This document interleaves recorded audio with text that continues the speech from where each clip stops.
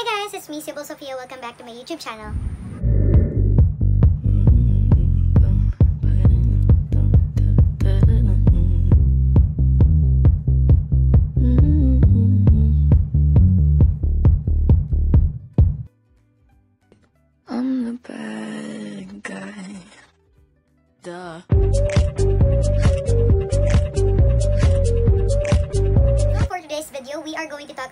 Skincare routine because a lot of people has been asking me of what is my skincare routine and so I really wanted to share to you guys of the product that I've been using.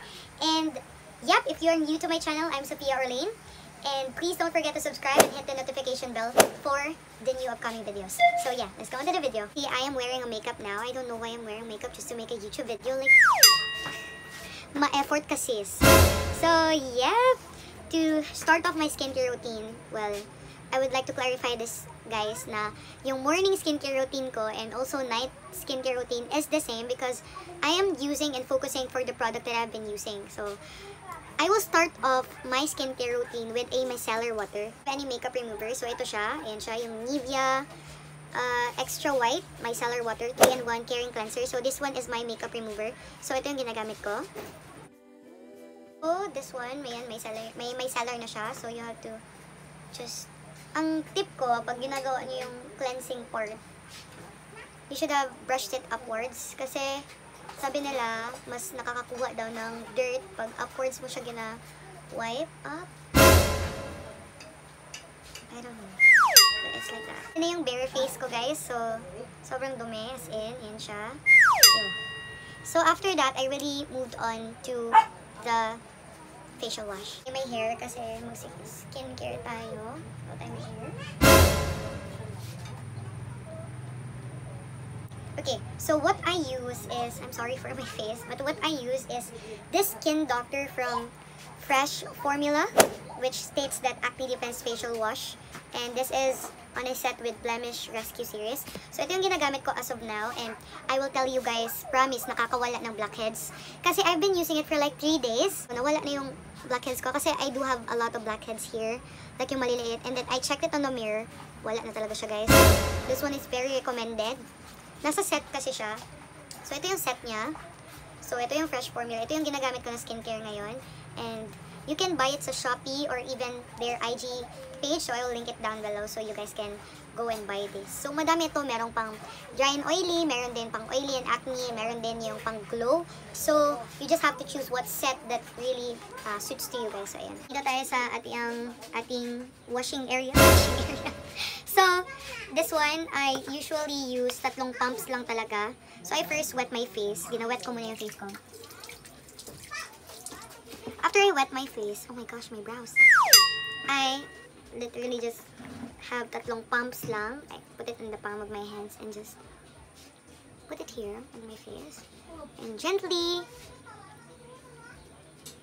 scrubbing it on my face.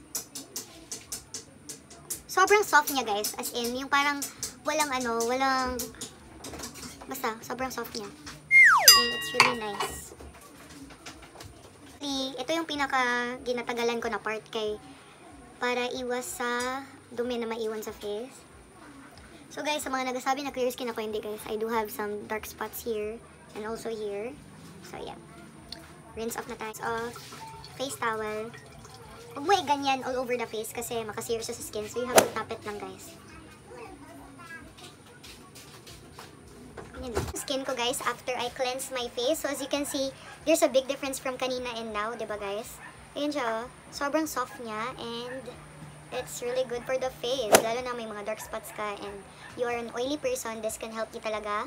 Especially to those who have acne. So after that, I use this ac anti-acne facial toner blemish doctor from Fresh Formula also nakasali sa set nila so what I learned from Fresh Formula is that you don't have to use any cotton pads you just have to open it and then clean hands of course. Clean palm siguro. You have to drop tatlo lang ayan. And then you have to and then just dump it all over your face. That's it. It feels so nice and mabango siya guys. Sobra. Sobrang bango niya. So, ayan siya. If I feel na sobrang dry na ng skin ko, I use this Saint, Yan, you all know the drill guys. We all need St. Ives or St. Yves or what the fuck. We all need this. So, this is apricot scrub. So, sometimes ginayos ko siya. Pero nag-use na ako nung last ata. And so, I don't have to use this anymore. Well, after ko mag-toner, I literally just go on to use this Celatec Hydration. Ayan, yung moisturizer nila ng Celatec. So, I just put a small amount of it in my fingers and then just put it in. Ayan na. Tapos na tayo mag-moisturize. Moisturize, I use this Dr. Clear Overnight Repair Cream. So, ayan siya. Itong ginagamit ko, lalo na pag may mga spots tayo dito sa, or any pimple that will grow sa tong face, or umabot sa tong face, dito na ako siya gina-open. So, if morning naman, after ko maglagay ng toner or moisturizer, yeah, after that part, I use this Dr. Blur, or Blur. Uh, this is an oxygenated day cream with an SPF 45. So, ito, maganda siya kasi parang foundation base siya, guys.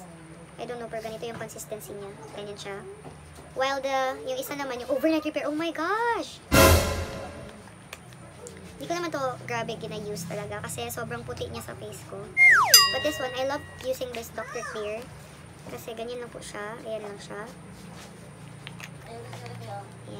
Going to apply it on my face lang, lalo na sa may mga spots and dito na part. Yun lang, apply-apply lang guys. Tapos na ako naglakay, lag, lag, naglagay ng overnight cream. And after nun is I use this ito. This is very helpful to each and everyone. So, ayan siya. Rose Water Mist. I bought it sa Watsons, guys. And after the, I don't, I, gusto lang na ko, eh. gusto ko ma-hydrate yung face, dili ma-uga or ma-dry or something. I just, like that. As much as you want. You can use it with or without makeup, but you just have to let it dry so that the rosemary extract will deeply go to your face. so, ayan siya. And then you just tap it lightly, guys. And you're done with your skincare routine. Naman, I use masks. So, kanang mask lang good na mapalit dyan niyo bisag asagod kanang sa Watsons, like that. Clay mostly clay mask akong ginagamit. Ginalagay ko dito sa face ko. Then, washed up after 15 minutes, ganun lang. Pero, dapat, ano lang kayo, ah, mga one or two times lang kayo mag mag-mask kasi sometimes if every day that really irritates your face so dapat one or twice uh, twice a week lang gawin after that I literally just go on to put petroleum jelly on my lips. Kasi hindi lang tayo dapat puro face guys. We should always take care of our lips also. Then sometimes I like to put it on my eyelashes din guys. Ayun yung eyelashes ko. Then that's it. I'm done with my skincare routine.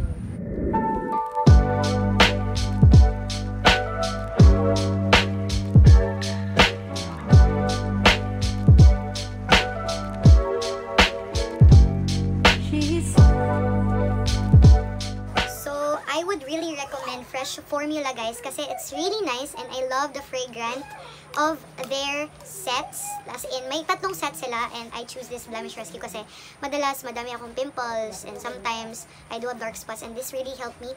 Promise talaga guys, in 3 days, I just lost my blackheads here.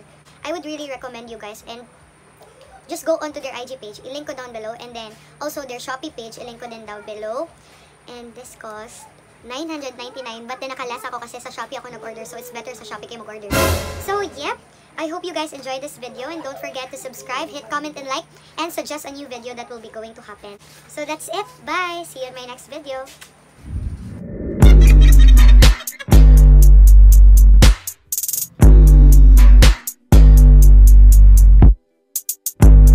when you